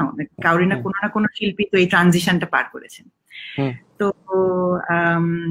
ওই জন্য তুমি অ্যাকসেপ্ট করে নিলেই তুমি পেরে গেলে জিতে গেলে। অ্যাকসেপ্ট করা মানে মেনে নেয়া আর মানানসই ভাবে নিজেকে সামনে এগিয়ে নেয়া। এটাই হলো আমাদের কাজ। সেরকমই সুরের সঙ্গীতের কথাও এক সময় কিন্তু মানুষ মানুষ বেশি আগে গেলাম না। সুর সৃষ্টির পরে ওনারা কিন্তু মানুষ উচ্চ অঙ্গ উচ্চাঙ্গের গান যেটা আমরা বলি সেটা কিন্তু ধ্রুপদ বসে বসে। ঘণ্টার পর ঘণ্টা বসে একটি গানকে আনন্দ নেয়া। সেই ধ্রুপদ এক সময় সেই গান ভেঙে হতে হতে হতে হতে আজকে আমাদের এই তো সেখান থেকে যখন একটা শিল্পী ধ্রুপদ গাইছেন, অহংকার করে গাইছেন রাজার দরবারে, উনি শ্রেষ্ঠ শিল্পী। তারপর হঠাৎ উনি টের পেলেন যে, আরে না, আমার থেকে যে মডার্ন গাইছে একটু ছোট করে, একটু একটু অন্য কিছু মিশিয়ে, ওর গান তো সবাই শুনছে। আমি একটা ইনস্ট্রুমেন্ট ব্যবহার করছি, কিন্তু তবলা যে ব্যবহার করছে, ওর গান তো আরও বেশি মানুষ শুনছে, তাহলে তার চেঞ্জ তাকেও অ্যাকসেপ্ট করতে হয়েছে যে, না, ঠিক আছে, আমার ধ্রুপদটা ছেড়ে একটু আমি আবার মানে ধ্রুপদ আর খেয়ালের মাঝেও তো অনেকগুলো ইয়ে গেছে, অনেকগুলো ফর্ম অফ মিউজিক পার হয়ে হয়ে খেয়াল এসছে, যেটাকে আমরা বলি যে, তাও বড় খেয়াল, ছোট খেয়াল, এগুলোও কিন্তু সব পার হয়ে মানুষের পছন্দ অনুযায়ী ফর্ম হয়েছে। তা এখনকার যে মিউজিকটা এখন কিন্তু আমরা মানুষের পছন্দ অনুযায়ী গান করি। আমরা নিজের পছন্দের সাথে মানুষের পছন্দের সামঞ্জস্য করে আমরা গান করি। তারপরে বড় বড় কবি আমাদেরকে অনেক গান দিয়ে গেছেন। তো যেটা তোমার প্রশ্নের উত্তর যে সব শিল্পীর লাইফে ট্রানজিশন আছে। সার্ভাইভাল অফ দ্য ফিটেস্ট তোমাকেই সার্ভাইভ টেকনিক বেছে নিতে হবে। তো এই জন্য এবং আমি যেটা মনে করি শিল্পীর কথা আমি বললাম, এখন শ্রোতার কথা বলি। শ্রোতা, কি করবে? আমি কি ক্যাসেট প্লেয়ার কিনবো? নাকি আমি সিডি প্লেয়ার কিনবো? নাকি আমি মোবাইল একটা ভালো কিনবো, যেটাতে ডিজিটাল ইউটিউব দেখা যায়? আমি কি করব? এখন ওনার সুবিধা হলো ওনার আর সিডি প্লেয়ার কিনতে হবে ওনার কিনতে হবে না। ওনার একটা মোবাইল বা ল্যাপটপ, এটাতে ইউটিউব বাজলে বা স্ট্রিমিং বা যেসব প্ল্যাটফর্মে মিউজিক হয় ডাউনলোড ত্যান এগুলি পারলেই হয়ে যাবে। এখন পারব কি করে? জানব কি করে? এই জানা পারা, এটাই তো মজা। এটাই তো জীবনের শিক্ষাক্ষেত্র। শিখে শিখে যত তুমি পারবে, তত তুমি এগিয়ে থাকবে। তোমার বন্ধুকে তুমি এটা পাঠাচ্ছ দেখ, এটা আমি তোকে পাঠালাম, এভাবে শিখে নে, এভাবে স্ট্রিমিং করে এই ওই অ্যাপটা ডাউনলোড কর। না রে আমি তো পারি না আমাকে দ্বারা এগুলি হবে না। হ্যাঁ হ্যাঁ হবে এই তো তুমি এটা আনন্দ পেলে আরেকটা মানুষের জ্ঞান দান করলে। তো আমার বলার বিষয়টাই এই ইমান যে মানুষ মাত্রই পরিবর্তন মানুষ মাত্রই নতুন মানুষ মাত্রই ঝামেলা। সৃষ্টিকর্তা কি তুমি ভাবো তোমাকে হঠাৎ করে ঝামেলা ছাড়া জীবন দিয়ে পাঠিয়েছেন? না। ওই জন্য কোনো কিছুই কোনো কিছু তুমি সহজে পাবে না। পেতে হলে তোমাকে একটু করতে হবে। মেরিন আপার গান পেতে হলে কষ্ট করে মেরিন অফিসিয়াল টাইপ করে ইউটিউবে আসতে হবে। নাহলে মেহরিন ডট নেট বানানটা ঠিক করে M H R W N type করে আসতে হবে। বল- বলা যাবে না যে মেহিনাপা আপনাকে আর দেখি না আর পাই না। টিভি অন করলেই এখন আমাদেরকে খুব কমই দেখা যাবে। কারণ আমরা ইউটিউবে সব সময় দিচ্ছি। আমাদেরকে শিখতে হচ্ছে। আমাদেরকে জগতের সাথে পাল্লা দিয়ে আহ, এগিয়ে থাকতে হচ্ছে। YouTube itself is a very tough space এটা এটাকে বুঝে ওঠা এটা আরেক লেখাপড়া। আর যতই অন্যকে দিয়ে করায় না কেন নিজের বুঝতে হয়। তো যেই কারণে ব্যাপার স্যাপারগুলো একটু অন্যরকম। তো তোমার প্রশ্নের উত্তর কি আমি দিয়েছি? যে হ্যাঁ হ্যাঁ উত্তর উত্তর শুধু না মানে এটার মধ্যে ইভান মজাটাই হলো এই তুমি এগুবে, জীবন এগুবে, তুমি পেছাবে, জীবন আরও এগুবে, তুমি আরেকটু লাভ দিয়ে এগুবে। এটাতেই কিন্তু জীবনের মজা। সমুদ্রের পাশের ঢেউয়ের মতন, যে কারণে আমরা সমুদ্রে বারবার যেতে পছন্দ করি। এমনকি পাহাড়ের সামনেও যেতে পছন্দ করি, পাহাড় যত আগায় মানে আমি যত আগাই, পাহাড় কিন্তু পেছায়। মানে এটা এটা দারুণ জিনিস, যত বড় জিনিসের কাছে তুমি যাবে, সেই বড় জিনিস কিন্তু তোমার থেকে পেছাবে। আমি জানি না তুমি তাজমহল গেছো কিনা তাজমহলে গেলে বলা হয় যে তোমার সাথে সাথে তাজমহল হাঁটছে। মানে তুমি যতই কাছে যাও না কেন তাজমহল কিন্তু কাছে যাচ্ছে না দূরে যাচ্ছে। তো বড় জিনিস আহ, তো এটাই বলছি যে লাইফটা একটু ইলিউসিভ লাইফটা একটু সবকিছুতেই তোমাকে এড়িয়ে এড়িয়ে এগিয়ে এগিয়ে যাবে। আর তুমি ওটা ধরতে চাইবে পারতে চাইবে এটাই জীবন। ওই জন্য গান বাজনা জীবনের বাইরে না টেকনোলজি জীবনের বাইরে না টেকনোলজি এগিয়ে যাবেই। তোমাকে সাথে সাথে এগিয়ে হবে। সো নো কমপ্লেন হ্যাপি ওফ মানে কে যেন, রিয়া হ্যাঁ রিয়ার একটা প্রশ্ন ছিল যে কীভাবে সেই যখন আগে দেখেছেন আর এখনও দেখেছেন, কীভাবে আসলে একই রকম দেখতে লাগে? আমার কাছে মনে হয় যে এই ফুড হ্যাবিট বলেন বা যা কিছু বলেন, তার বাইরে এই যে বিশ্বাসটা, এই যে ব্রেনের একটা ব্যায়াম বা ওইখানে এটা এই বিশ্বাস, এরকম positive full of energy energy positivity এবং এই পজিটিভ ভাইব এটা আর একটা বড় কারণ। আমি মানে আমি একদম washed I am feeling relaxed okay so মেরিনাপু আমরা অনেকক্ষণ আড্ডা দিয়েছি। আমরা আপনার গান মানুষ শুনতে চায়। আমি আমি সেই সুযোগটা হাতছাড়া আমিও হ্যাঁ, হ্যাঁ। করব না। তারেক নিশ্চয়ই রেডি আছে। আমরা আরেকটা গান এখন সাউন্ড থেকে শুরু করে সব ঠিকঠাকও আছে। Radio Dhoni ninety one point two F M এর পেজে ঈদ সেলিব্রিটি আড্ডা উইথ ইভান যারা জয়েন করে আছেন শুনছেন তাদের জন্য আরও একটি গান এখন আমরা শুনব। জি শুনি। এটা একটু এগিয়ে দেওয়া যায় গানটা হ্যাঁ যাচ্ছে সামনে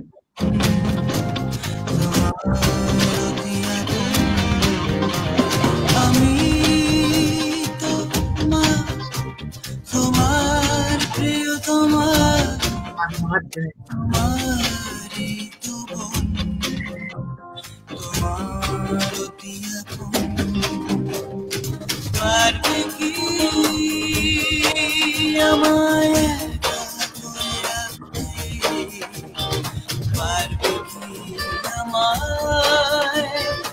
পদে ফেলে রেখে যেতে।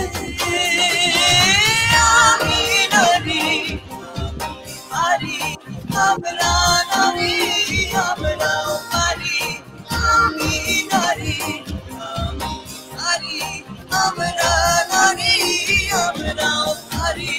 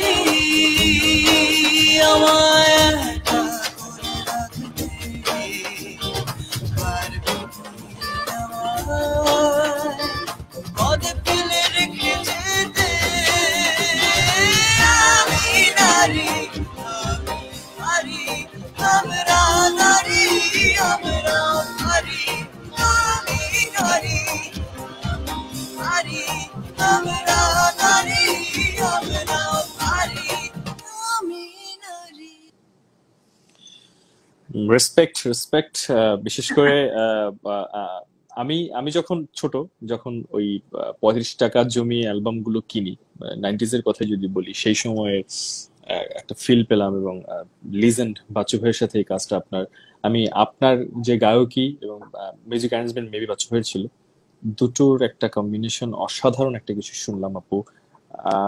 এই গানটা যেহেতু শুনে ফেলেছি একটু আহ, কথা একটু আপনার মুখ থেকে শুনতে চাই এনি মেমোরিজ বা এই গানটা করতে গিয়ে। কিছু কথা একটু বলতে গিয়ে কি বলব? যাক মানুষগুলো তো আহ, ওই- আর কি তো এটি আমার একটা ড্রিম প্রজেক্ট ছিল ইভান তুমি কই গেলে? আমি আছি আমি যে ওই আইডলের সময় বাচ্চু ভাইকে মাথা খারাপ করে দিয়েছিলাম বাচ্চু ভাইটা গান করব গান করব। তখন বাচ্চু ভাই আসলে তোমার একটা গান এবার আমার করাই লাগবে এরকম। এর আগে কিন্তু আমরা গান করেছি একসাথে। আম, আমরা বেশ কিছু কাজ একসাথে করছি ছবির কাজ তারপরে আহ, টুকটাক। এমনকি আমার লাইফের প্রথম যে কাভার মানে আমি যখন নতুন মানুষ আমার প্রথম কাভার যেন সারেগার আনন্দ ভুবন। মঞ্জু তার তারেক আর আমাদের রানা। ওরা তিনজন ছিল তখন ইয়ে আনন্দ ভুবন দেখতো। কি ট্যালেন্টেড তিনটা ছেলে। আর ওরা গান বাজনা নিয়ে একটা ট্যাবলয়েড, একটা একটা, ওই আনন্দ ভুবনের একটা পার্ট ওরা করতো। সেখানে আমার আনন্দ ভুবনের কভার আমার ছিল প্রথম। বাচ্চু ভাই হাসান ভাই আর আমি। তো বাচ্চু ভাইয়ের সাথে আমার অনেক বছরের সম্পর্ক। এমনকি যখন আমার আনারি অ্যালবামটা রিলিজ পায় তখন থেকে বাচ্চু ভাই আমাকে চিনেন। তো আহ, এই তো তারপরে এরকম আইডল করলাম পুরোটা তারপরে বাচ্চু ভাইয়ের সাথে করা হলো। এবং একটাই কথা ছিল যে বাচ্চু ভাইয়ের প্রেমের গান টান আমরা করব না। তো আমি থিমটা আমি বললাম বাচ্চু ভাই যে আমি বলতেই বাচ্চু ভাই মেয়েদের ইন্সপায়ার করি চলেন। এমন কিছু গাই সেটাতে উজ্জীবিত করি আমাদের আম- আমাদেরকে। তখন বাচ্চারা বলল যে হ্যাঁ আরে ভীষণ পছন্দ করল এবং বলল শোনো আমি এটা লিখব নিজে লিখব। সত্যি নিজে নিজে লিখলো। আহ, তো সত্যি নিজে নিজে লিখলো সুর দিল গেয়ে ফেললাম মাসুদ ভাই রেকর্ড করে দিল। এই তো হলো গান।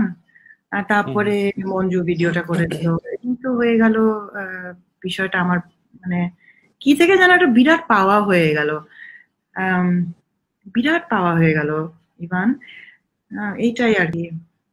বুঝতে পারছি আপু আসলে আপনাকে আরেকটু মন খারাপ করিয়ে রাখব যেহেতু এই প্রসঙ্গটা এলো আমাদের অনেক দর্শক বা অনেকে আছেন তারাও একদম সদ্য প্রয়াত আরেকজন কিংবদন্তির কথা বলতে পারি এন্ড্রু কিশোর শ্রদ্ধেয়। আপনি তার সাথেও একটানা কাজ করেছেন। আহ, একেবারে আপনার উপরে ডিপেন্ড করবে আপনি আসলে কোনো স্মৃতি বা কিছু বলতে চান কিনা। আহ, এটা একদম আপনার উপরে ছেড়ে দিলাম। যদি আমরা কথা না বলতে চাই আমরা অন্য আসলে প্রসঙ্গে বাচ্চু ভাই তো বাচ্চু ছিল রক স্টার তার তার হ্যাবিট তার তার যে চিন্তা চেতনা ছিল একটু ইয়ে। একটু একটু অ্যাগ্রেসিভ আর কি। হ্যাঁ আমি- আমি জ্যাকেট পরবো তুমি জ্যাকেটই পরবো। আমি পিৎজা খাব তুমি পিৎজাই খাব। আর অ্যান্ড্রুদা ছিলেন সাবমিসিভ একটু উনি মানে সুরেলা কণ্ঠের মানুষ আমাদের সাবমিসিভ একটা লক্ষ্মী। আমরা তো আসলে লক্ষ্মী না। তো তো এই তো অ্যান্ড্রুদা আর খালা তো একটা মাটির মানুষ, দারুণ একটা মানুষ। আর আমি যদিও তাদের সাথে সাথে তাদের পিছে পিছে আমি আমি আমি একটা আমি ছিলাম আর কি, একটা একটা শিশু তাদের পিছে পিছে। আর এই তো তো আসলে স্মৃতি মানে কি? স্মৃতিটা মূলত আমাদের গ্রিন রুমেরই স্মৃতি বেশি ছিল। তো আমি এটাই বলব যে আসলে একজন দুজন ভীষণ বন্ধু ছিল, বাচ্চু ভাই আর অ্যান্ড্রুদা।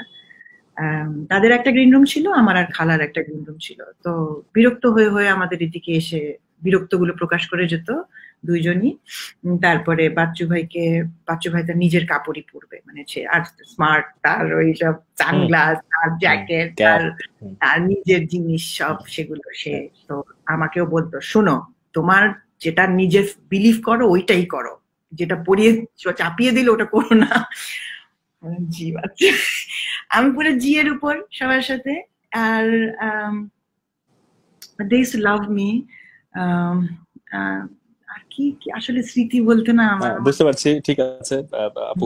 আসলে নানান কথা একটা লাইভে এরকম লং ওয়ান ইয়ার হ্যাঁ long one year glorious one year এবং ওই একটা বছর আমি তো আমার কাজ করেছি একবার জান পান দিয়ে এবং এরা দুজন মানুষ মানে খালাকে অতটা ডিস্টার্ব করতো না তো ডিস্টার্ব মানে আমরাই বেশি আহ, তো কিন্তু যদিও আমরা মানে আমি ছোট বলছি বলছি গেছে কিন্তু তারা দুইজনই কিনা বাচ্চা তখন অনেক অসুখ। এবং এই দুজন মানুষ যে রাত নাই দিন নাই কাজ করেছে তো এরকম মানে হ্যাটস অফ এদের এদের যে প্রফেশনালিজম এবং এনাদের যে কর্মস্পৃহা এনাদের যে শোম্যানশিপ ওয়াও মানে আনস্ক্রিপ্টেড বিডি আইডল টোটালি সেখানে কে কার লাইন ধরছে কে করছে কে কি বলছে এটা কিন্তু আপনারা কেউ টের পাবেন না। আর edit was of course magnificent edit কিন্তু অ্যাক্টিং তো করছে এই এই আমি আমার কথা বাদ দিচ্ছি কিন্তু যারা বাকি তিনজন এরা তো বয়োজ্যেষ্ঠ এবং এরা কিন্তু খুব ডাউন টু আর্ট মানে সিম্পল মানুষ এটা মাইন্ডটা কিন্তু খুব সিম্পল এনারা যে কথা একটা বলছেন মজা হচ্ছে জিনিসগুলো যে লাইন্সগুলো দর্শক পছন্দ করে ফেলবে। এই যে হঠাৎ বাচ্চুকে রাগ করে ফেলবে, আমি বললাম, রাগের মতন কি হলো? রাগ করলে কেন? তার অনেক দিন পরে আমি বুঝতে পেরেছি ও this is showmanship this is this is why he is Ayub Bachchu মানে তার শোম্যানশিপের সেন্স তার স্কিল তার টাইমিং তার কি বলতে হবে, কি করতে হবে? ও মাই গড এটা বুঝে উঠতে মানে অনেকদিন লেগে যাবে। সেই জন্যই তারা আসলে ওই হাইটের মানুষ। তো এই তো মিস করার ছাড়া তো কিছু নাই। আর ওই আর সব আসলে। বেনাপু আমরা এবার এবার একটু একটু মন খারাপ থেকে বের হতে চাই। তারা আমাদের মাঝে থাকবেন। আসলে মানুষ যে কর্মে বাঁচে সে কাজ তারা করেছেন। চলে যাওয়া স্বাভাবিক নিয়ম আমরাও সবাই চলে যাব। কিন্তু তারা তাদের কাজটা করে গেছেন। এখন আমাদের ভালোবাসা দিয়ে তাদেরকে আসলে আমার আমার একটা ফ্যান আছে জন ভাই। জন ভাই প্রায় ফোন করে করে আমাকে বলে আপা আপনি ভালো আছেন তো? আপনি ভালো আছেন আমি জন ভাই কেন কি? বলে না আপনারা আপনাদের খেয়াল নিতে জানেন না তো। এই জন্য আপনাদের বারবার ফোন করে মনে করিয়ে দিতে হয় আপনি ভালো আছেন তো? আসলে কিন্তু আই নো কারণ যখন আমরা কাজ করি তখন কাজই স্টুডিও তো studio show one after another tour আরে কখন ট্যুরে যাব? একটা ট্যুর আসার পরে কখন next when is the next one practice টানা মানে ক্রেজি ক্রেজি লাইফ তো সেটা এখন রাইট এটা এটাই ভালোবাসা। আপু আমরা এবার একটু মন খারাপ থেকে বের হব। এবার আসলে কিছু সহজাত প্রশ্ন অনেকের যেগুলোতে আমি একটু যাব। যেগুলো আপনার অ্যান্সার করতে ইচ্ছে করবে করবেন। আর যেগুলোতে স্কিপ করতে চান স্কিপ করবেন। প্রথম বিষয় হচ্ছে যে এবার একদম আমি দর্শকদের পয়েন্ট অফ ভিউ থেকে আমার ব্যক্তিগত অনেকগুলো জানতে চাওয়া ছিল। আমি যেগুলো চেয়েছিলাম যে আর্কাইভ হয়ে থাকুক যে কথাগুলো তার অনেকটা আমি পেয়ে গেছি। তো আমি এবার একেবারে দর্শকের পয়েন্ট অফ ভিউ থেকে আমার কাছে কিছু প্রশ্ন আছে সেগুলো আমি একটু আপনার কাছে জানতে চাই। একটা বড় অংশে জানতে চাওয়া আছে যে আপনি নায়িকা কেন হলেন না? রইলেন ও ওকে এটা একটা ইন্টারেস্টিং বা অভিনয় অভিনয় কেন করলেন? না নায়িকা বা অভিনয় করা? একটা স্টোরিও আছে এটার পিছিয়ে আমি কিন্তু আমার ভিডিওতে কিন্তু আমি এনঅ্যাক্ট করি। আমি কাউকেই জায়গা দেই না আমি নিজেই সব করি ঠিক আছে? হ্যাঁ। আমার এরকম একটা ভিডিও ছিল একা আনারি অ্যালবামের একা গানের সোহেল আরমান ভাইয়ের ভিডিও। সোহেল আরমান ভাই আমাকে এরকম বলে দিলেন যে, এটা করবে, আয়নার সামনে বসো। বসে মন খারাপ করে বসো। কারণ একা গানটা হচ্ছে গিয়ে, দেখো না আমায় পেছনে আর হারাতে পারি দূরে আবার। এরকম থাকব একা, শুধু একা, আমি এবার। এই গান। তো সেখানে আয়নার সামনে বসো, মন খারাপ করে, এবং এটা এটা করবে। তো ওই সিন দেখে সোহেল ভাই আমাকে বলল, তুমি নাটক করবে? এবং ওই ছব, ওই ওই মিউজিক ভিডিও চ্যানেল আইতে প্রচার হলো এবং তারপর আফজাল ভাই আমার বাসায় এসে উপস্থিত। আফজাল ভাই আমাকে বল মেরিন, তুমি আমার নাটক করো।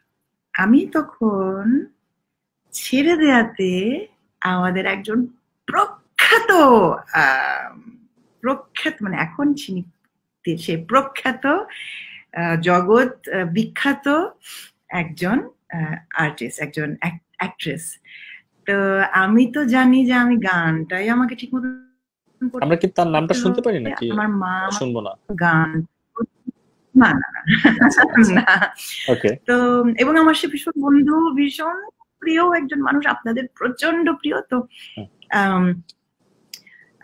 তো এই এখন সে তো আমার মা এমনিতেই মানে গানটাই আমাদের মতো পরিবারে অনেক অনেক অনেকটাই আমরা মানে অনেক কি বলব রেগুলেট রেগুলেটেড আমাদের। সেখানে সেখানে ও তো এটার ধৃষ্টতাই ছিল না যে মাকে গিয়ে জিজ্ঞেস করি আমাকে এরকম এত বড় একজন আপনার আপনার মনের ভিতরে ইচ্ছে ছিল কিনা? ও না না না আমার মনে ইচ্ছে ছিল না ইভান আমার মনে ইচ্ছে ছিল না কারণ আমার ছোটকাল থেকে গান গানের একটা নেশা ছিল। আমার নেশাটা আমি তোমাকে ছোটকালে বলেছি ছোটকাল থেকে এটা কিছুটা ছিল যেটা আমি জানি না। আমি এখন ডিফাইন করতে পারি না হোয়াট ইট ওয়াজ তো সেই জিনিসটা তারপর যখন বড় হচ্ছি হচ্ছি তখন এটা আরও কঠিন আরও না পারা আরও হচ্ছে না হব না এই সেই তারপর শিল্পকলায় যখন আমি ঢুকলাম তখন দেখলাম আরে কত বড় বড় শিল্পীরা গান গাচ্ছে কত বড়! শুধু বাংলাদেশের না পুরো বিশ্বের বড় থেকে বড়তম মানুষের সামনে আসলাম। মানুষকে দেখলাম শিল্পকলার সেই কাজের মাধ্যমে। আমি তখন শিল্পকলার মানে অ্যাঙ্কার পার্সন সে অনেক বছর ধরে আমাদের আম, তারপর ভাবতে থাকলাম যে না থা গান আমি গান শিখি ওটা ঠিক আছে। আমার স্টেজে গিয়ে এত মানুষের সামনে এত বড় বড় শিল্পীর কাঁধে কাঁধ মিলিয়ে আমি কখনোই যোগ্য কখনোই হব না। যোগ্য আমি যোগ্যর কথাটা বলছেন যোগ্য আমি এখনও নিজেকে এক ফোঁটাও যাই হোক সেই কথা পরে। তো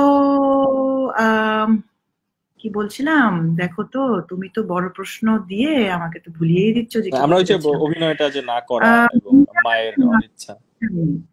এবং আপনি শিল্পকলায় গেলে না, নিজে আমার- হ্যাঁ। হ্যাঁ আমি আসলে ইভান আমার বাসায় একটা ইয়াস নোট ছিল অলিখিত। সেটা আমার জানা ছিল কি আমাকে করতে দেয়া হবে কি হবে না। তো সেই জন্য কোনটা হবে না এটা আমি জানি। আর গানটা আমার ভিতরে তাড়াতো বেশি তাড়াতো। আর কিছুই না। কখনো কখনো আমি সিনেমার জন্য অফার তো পেয়েছিলেন। সিনেমার জন্য অফার পেয়েছিলেন নিশ্চয়ই কখনো? সিনেমাটা পাও পাইনি। কারণ মানুষ জেনে শুনে আসে। মানুষ যখন বুঝে যায় যে সে এটা করবে না তখন ওটা আর আর অফার আসে না তো তোমার আম, উম,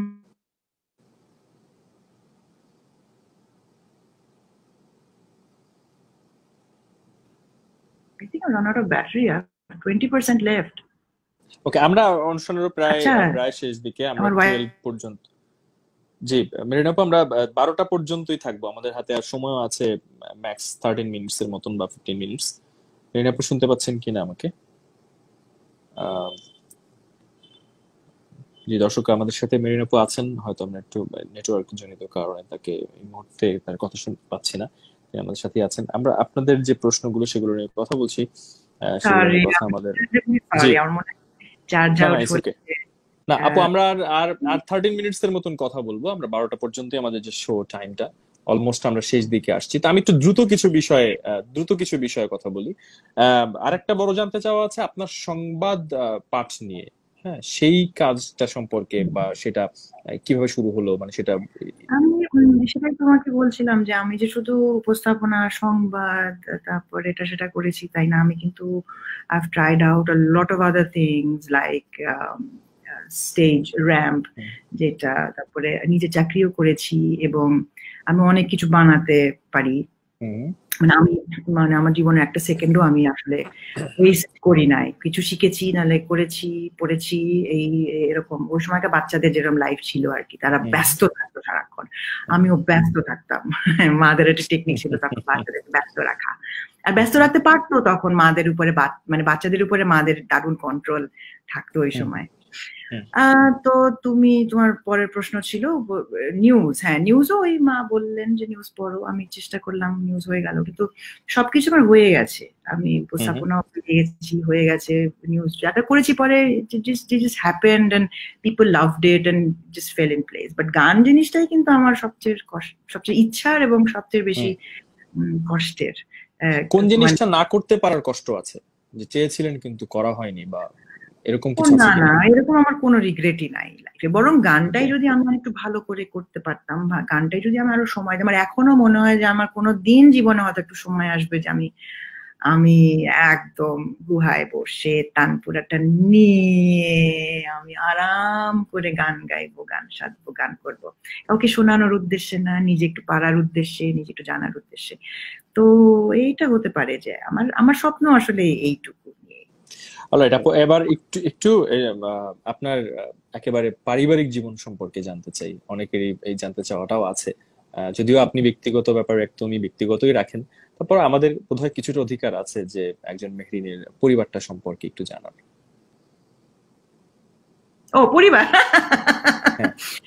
সবাই জানে ইভান আমার। তারপরও আমি একটু রেডিও ধ্বনির দর্শকদের জন্য আহ, জানতে চাই। আমি বিয়ে করেছি প্রায় বিশ বছর প্লাস এই একুশ টেকুশ হবে। আমার মেয়ের বয়স ট্রুলি এটা শুনে না এখন অনেকে হার্ট ব্রেক হয় জানেন আপু? This is true this is true আমি দায়িত্ব নিয়ে বলছি। দায়িত্ব নিয়ে বলছি। ট্রু তার জন্য আমার মেয়ে আল্লাহর রহমতে টোয়েন্টি আমার ছেলে আমার ছেলে আল্লাহর রহমতে ফোরটিন এই হলো আমার পরিবার এরা লেখাপড়া করে। এখন তো এই একটু এই আমরা মানে আম, খুব সংসারী তা না একদমই। আমাকে ওরা অনেক টলারেট করে অনেক হেল্প করে অনেক উপদেশ দেয় অনেক সাহায্য করে। এখন ওরা বড় হয়ে গেছি। আমার মনে হয় যে আমার অনেক দায়িত্ব বুঝি এখন কম। আমি নিজের জন্য সময় পাই। তা আমার একটা বাবা ছিল আমার একটা মা আছে। আর এই যে তোমাদের সাথে বসে আছি একটু একটু করে আমার সিসি ক্যামটা দেখছি। কারণ মা আর এখন ঘুমিয়ে পড়ার কথা। ওকে না আমরা বেশিক্ষণ সময় আপনার কাছ থেকে নিবও না। আমরা হ্যাঁ। আপনি অনেকক্ষণ সময় দিয়েছেন আমাদেরকে। একটু একটু স্পর্ধা নিয়ে জানতে চাই এটা মানে লাভ ম্যারেজ ছিল আর অ্যারেঞ্জ ম্যারেজ ছিল।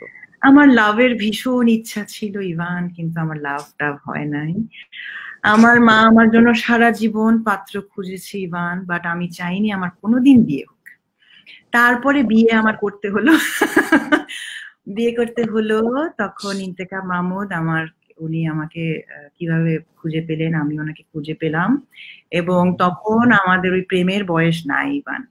তো আমরা উম, তখন আমরা বিয়ে করলাম বিয়ে করলাম। তো একটু পছন্দ বেসিক একটা পছন্দ আমাদের দুজন দুজনের কাছ থেকে। হলো যে শুধু শুধু যে চেহারা পছন্দ বা ইয়ে না বাট সেও চাইছিল একটু তখনকার মেয়েরা বোধহয় একটু সাব একটু একটু সাবমিসিভ ছিল একটু নরম ছিল।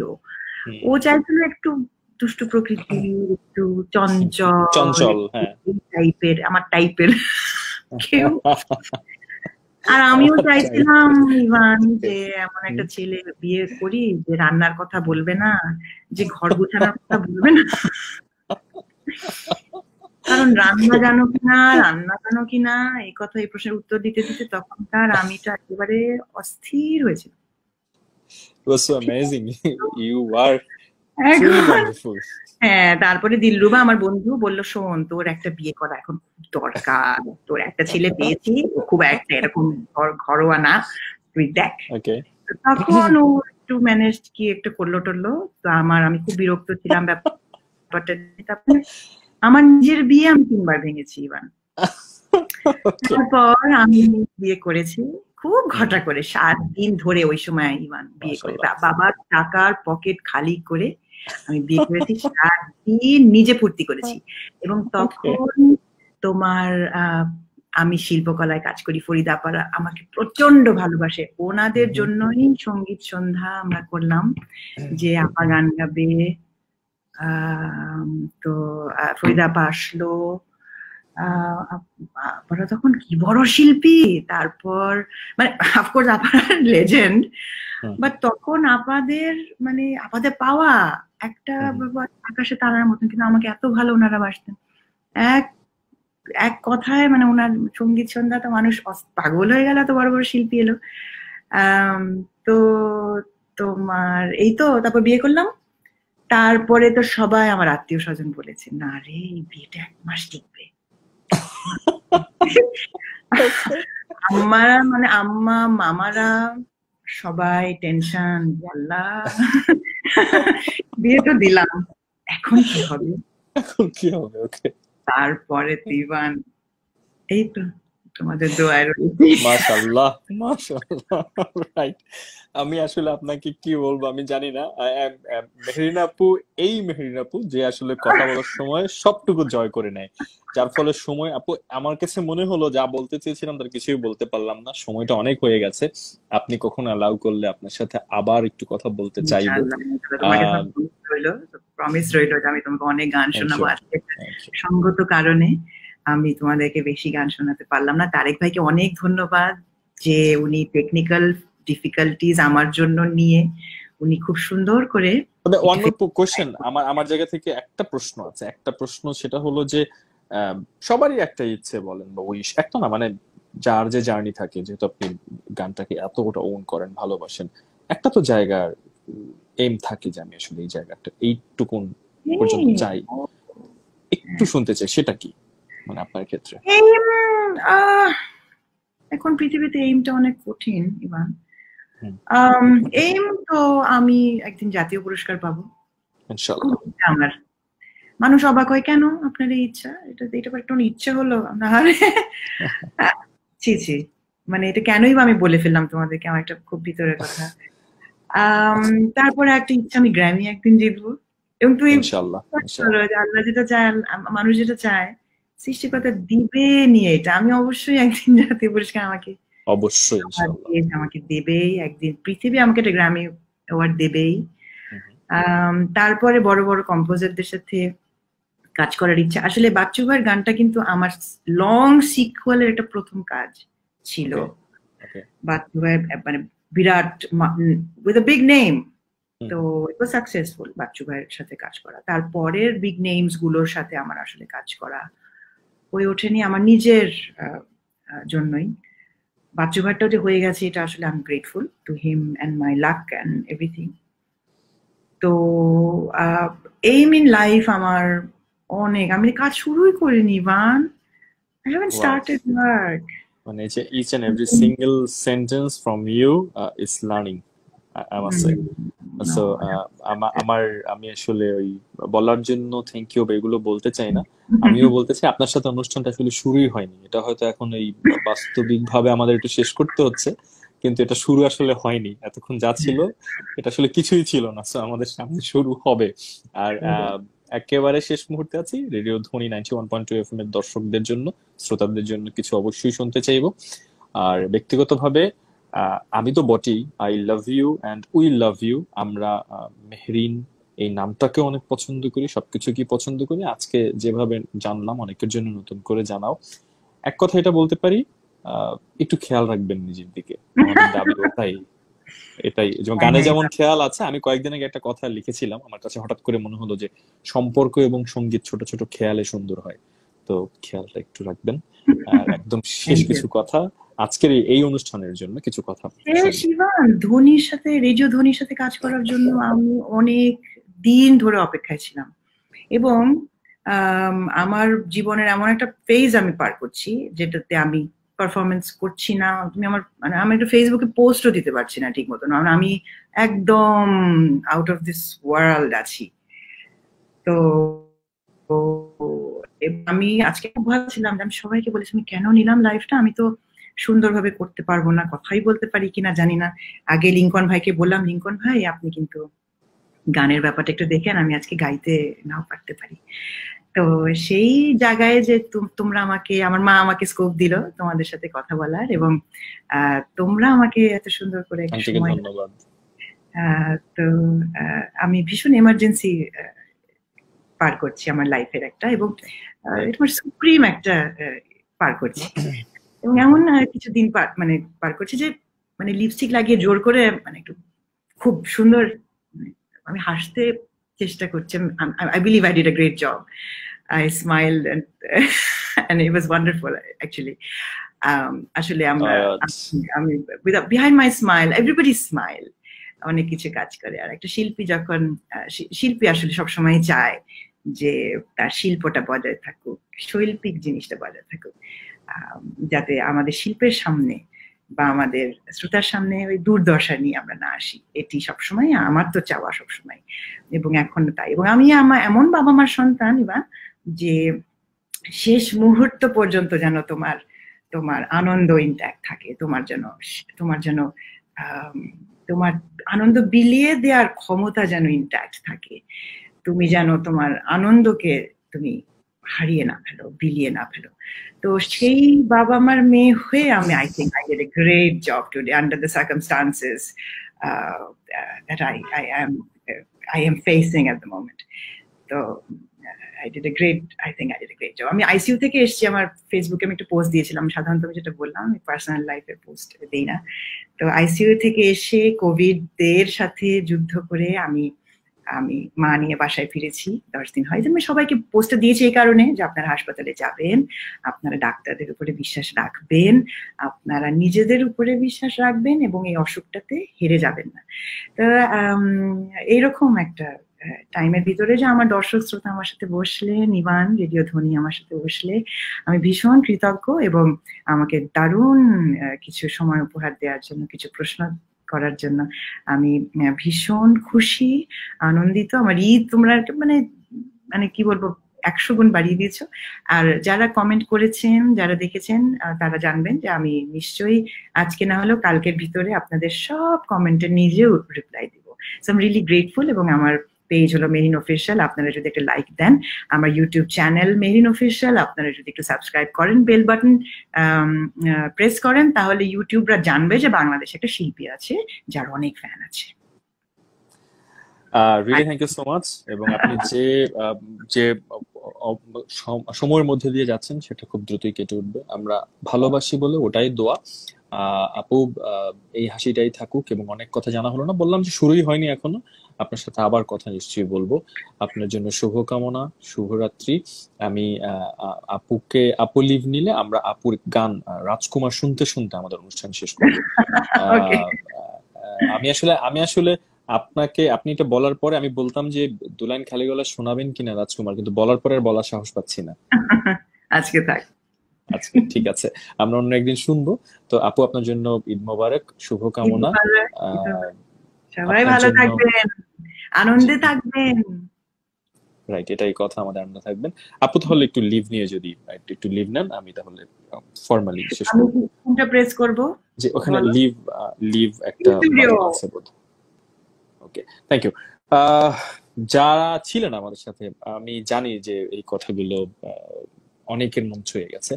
আর চেষ্টা করি আসলে ইচ্ছে করি মানে খুব গতানুগতিক প্রশ্নের বাইরে চেষ্টা করেছি কিছু কথা থাকুক। কারণ আমি বিশ্বাস করি যে একটা সময় আসবে রেডিও ধ্বনি পেজ থেকে এই লাইভটা খুঁজে মেহরিনাপুর কথাগুলো অনেকে শুনতে চাইবেন। আহ, সে প্রত্যাশায় রেখে আমরা রাজকুমার গানটা একটু শুনব। রাজকুমার গানটা শুনতে শুনতে বিদায় নিব। আমি রাজকুমারটা ঠিক তারিখ যখন শেষ, তখনই আমাদের লাইভ শেষ হয়ে যাবে। আমি তার আগে বিদায় নিচ্ছি। ঈদ মোবারক। আমি ভালোবাসার পক্ষের মানুষ। আপন থাকার কথা বলেছে। আমি বলি যে ভালোবেসে প্রিয় মানুষের সাথে আনন্দে থাকুন। ভীষণ রকম। রাজকুমার শুনি।